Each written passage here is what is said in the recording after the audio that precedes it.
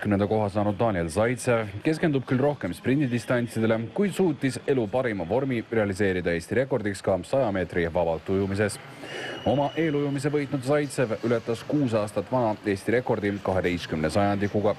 uuteks Eesti rekordinumbriteks on nelikümmend üheksa sekundit ja nelikümmend neli sajandikku, mis andis talle saja kahekümne mehe konkurentsis kolmekümne teise koha. no plaanis oli alla viiekümne piiri saada, sekundi piiri. no see õnnestus. harjusin väga palju treeneriga teiselt poolt ja üritasin rõhku teisele poole suruda. aga lõpus läks ikkagi raskeks, et sada on võib-olla natukene palju minu jaoks. on ikka veel rohkem sprinter.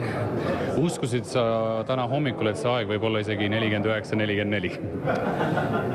no ma jah, ma unus, unistasin jah umbes neljakümne, neljakümne üheksa poole suunas ja oleks väga hea meel, kui oleks püstitanud Eesti rekordi ja täna see õnnestus. nelja korda saja meetri kombineeritud segateate ujumises sai Eesti kvartett koosseisus Karl-Juhan Luht, Maria Romanjuk, Gregor Tsirk ja Alexa Gold neljakümne võistkonna seas kahekümne esimese koha